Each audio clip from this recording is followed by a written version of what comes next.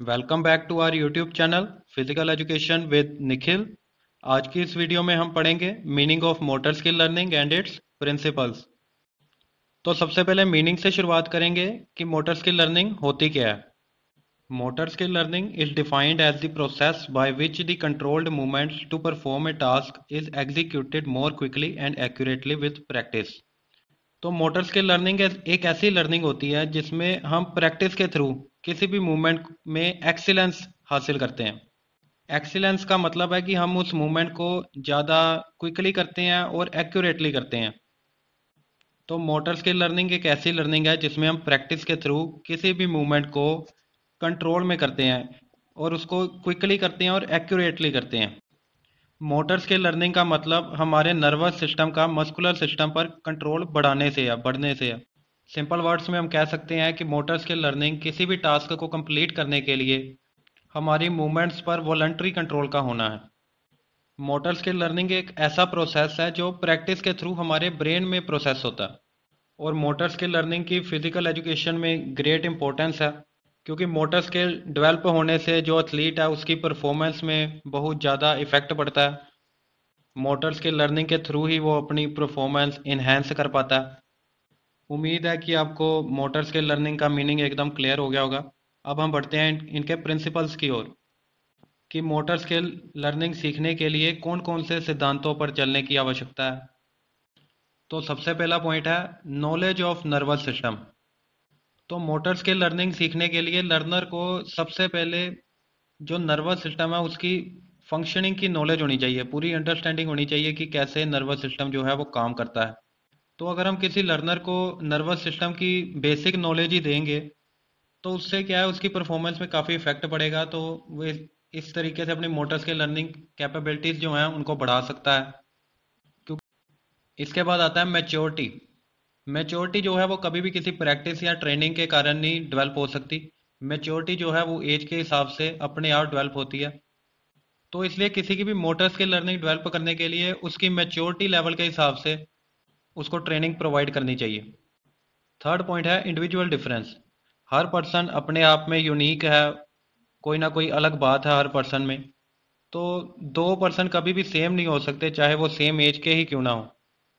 इसके अलावा कि अगर वो ट्विंस भी हो, तब भी वो सेम बिल्कुल नहीं हो सकते। हर चीज़ उनकी सेम नहीं हो सकती। इसलिए किसी की मोटर स्किल लर्निंग डेवलप करने के लिए पहले इंडिविजुअल डिफरेंस को समझना होगा।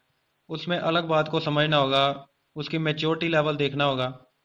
और उसी के हिसाब से उसको ट्रेनिंग प्रोवाइड करनी होगी मोटर स्किल डेवलपमेंट के लिए।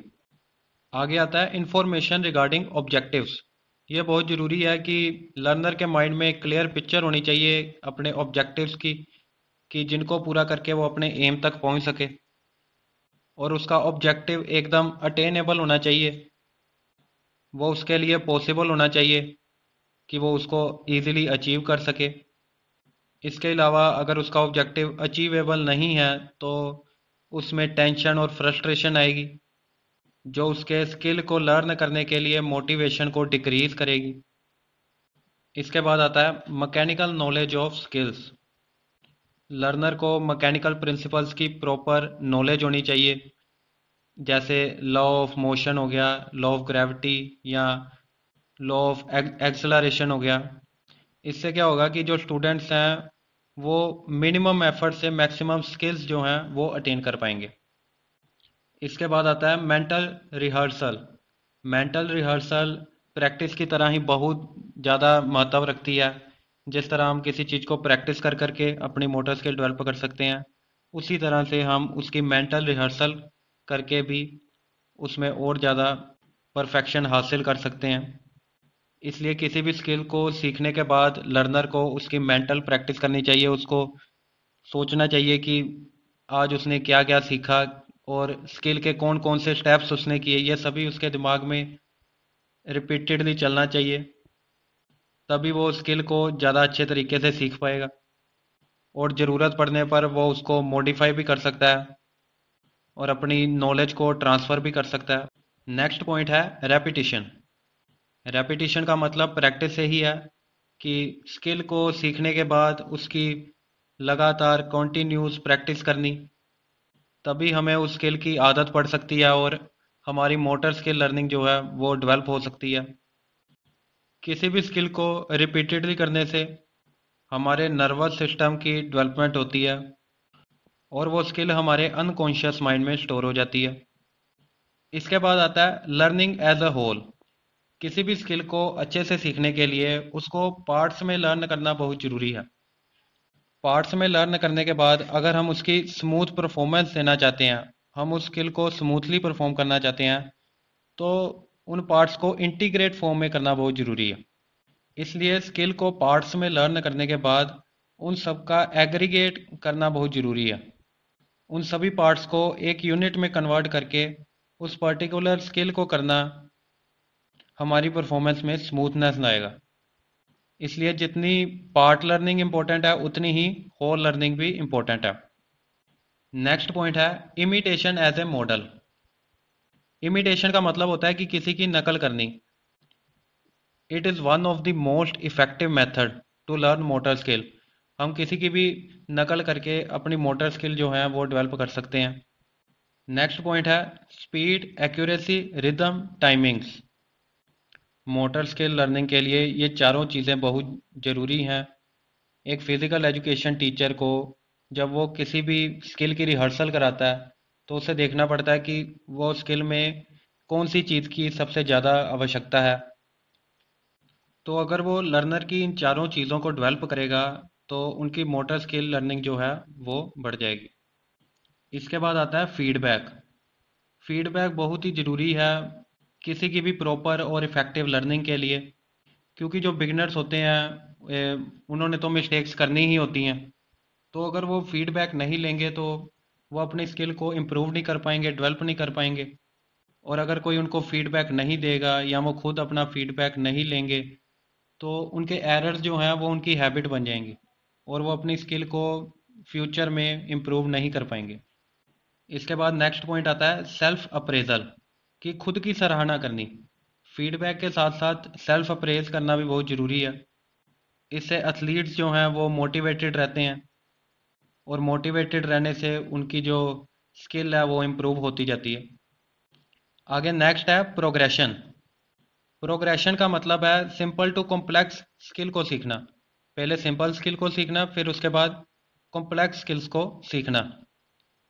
ये एक यूनिवर्सल प्रिंसिपल है कि हर किसी को सिंपल टू कॉम्प्लेक्स लर्निंग करनी चाहिए।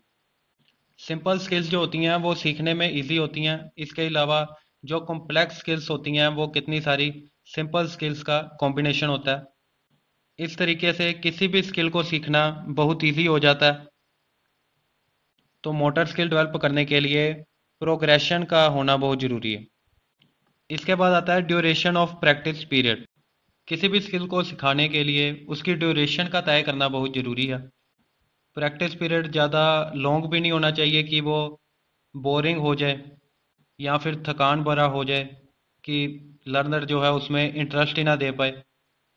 और प्रैक्टिस ड्यूरेशन ज़्यादा कम भी नहीं होनी चाहिए कि लर्नर उसकी तरफ़ ध्यान ही ना दे पाए स्किल को समझ ही ना पाए।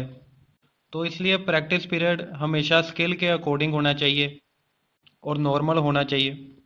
इसके बाद आता है वैल्यू ऑफ़ ट्रांसफ़र इफ़ेक्ट इसका मतलब हमारी ट्रांसफ़र ऑफ़ नॉलेज से है कि हमारे में अपनी नॉलेज को ट्रांसफ़र करने की कितनी एबिलिटी है कि हम एक स्किल से सीखा हुआ कुछ पार्ट दूसरी स्किल पर भी अप्लाई कर सकें। जैसे रैकेट गेम्स में टेनिस बैडमिंटन इनकी स्किल्स को आपस में रिलेट करना। ताकि जब हम एक गेम से दूसरी गेम की ओर जाएँ तो हम अपनी ट्रांसफ़र ऑफ़ नॉलेज की मदद से उस दूसरी गेम की स्किल्स को भी सीख सकें। तो इस तरह ट्रांसफ़र ऑफ़ नॉलेज एबिलिटी से हमारी मोटर स्किल लर्निंग जो है, वो डेवलप होती है। इसके बाद आता है कॉन्टेक्स्ट एंड सेटिंग इसका मतलब है किसी भी स्किल को सिचुएशन के हिसाब से सीखना। लाइक टीम गेम्स में अपने ओपोनेंट्स को देखकर उनकी स्किल्स को कॉपी करना। तो इससे भी मोटर स्किल की इफ़ेक्टिव और एफिशिएंट लर्निंग होगी। तो आज की वीडियो में बस इतना ही। अगर आपको ये वीडियो अच्छी लगी तो वीडियो को लाइक करें और अपने फ्रेंड्स के साथ ज़्यादा से ज़्यादा शेयर करें। और अगर आप हमारे चैनल पर नए आए हैं तो चैनल को सब्सक्राइब करें। So thanks for watching and take care